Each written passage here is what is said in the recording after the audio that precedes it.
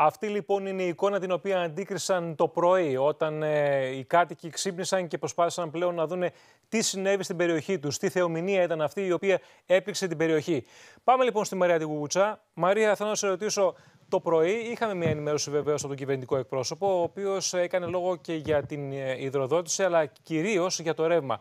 Θέλω να μας πεις ποια κατάσταση αυτή τη στιγμή επικρατεί. Υπάρχει καταρχάς ρεύμα σε όλη την περιοχή ή δεν υπάρχει; Σε κάποιες περιοχές το δεύτερο πόδι έχουν καταφέρει να δώσουν ρεύμα, όμως το μεγαλύτερο πρόβλημα εντοπίζεται στο πρώτο πόδι, εδώ πέρα στο Δήμο Κασάνδρας και Μουδανίων. Είναι το σημείο το οποίο υπήρχαν οι δύο ε, ιστοί της υψηλής τάσης που τροφοδοτούν όλη την περιοχή. Οπότε, αν δεν αποκατασταθεί αυτή η βλάβη, δεν θα τα καταφέρουν ε, και από ό,τι φαίνεται όχι αύριο, ούτε έως και την Κυριακή από ό,τι μας είπανε, να τροφοδοτήσουν όλη την περιοχή. Δίνουν προτεραιότητα σε οικιακό ρεύμα, ώστε να μπορέσουν οι κάτοικοι να παραμείνουν στα σπίτια τους και σε δεύτερο χρόνο τριφασικό για τις επιχειρήσεις. Ήδη στρατιωτικά οχήματα σπέβδουν στην περιοχή για να τροφοδοτήσουν τον κόσμο και τις επιχειρήσεις με γεννήτριες ώστε να μπορέσουν να κάνουν τη δουλειά τους. Σε δεύτερο επίπεδο θα μπορέσουν να έχουν νερό, διότι όλη η περιοχή και τα τρία πόδια, ε, ως γνωστό, το νερό είναι από και χωρίς πιεστικά δεν μπορεί να φτάσει το νερό στα σπίτια και στα καταστήματα. Λοιπόν. Όμως να πούμε ότι η Περιφέρεια Κεντρικής Μακεδονίας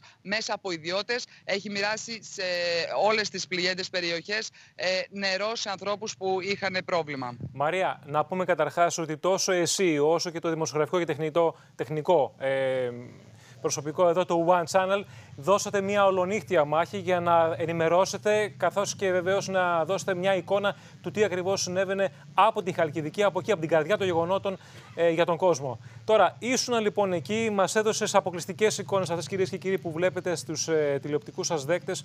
Είναι εικόνες που κατέγραψε η κάμερα του ΟΑΝ με την βοήθεια βεβαίως της Μαρίας στη Βουμουτσά. Μαρία, θέλω να μας πεις την προσωπική σου εκτίμηση και την ε, εντύπωση που δημιούργησες καθώς βρέθηκες κυριολεκτικά στα σημεία που η κακοκαιρία χτύπησε.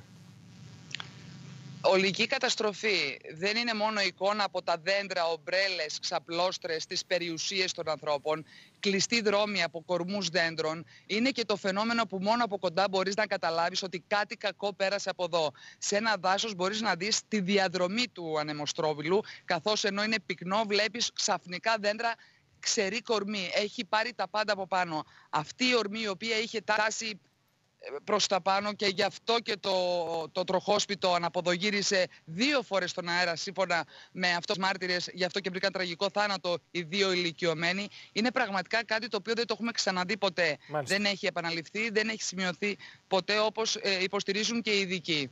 Λοιπόν, Μαρία, παραμένεις εκεί να κάνεις την εξαιρετική δουλειά και εσύ και οι συνάδελφοι που βρίσκεστε εκεί.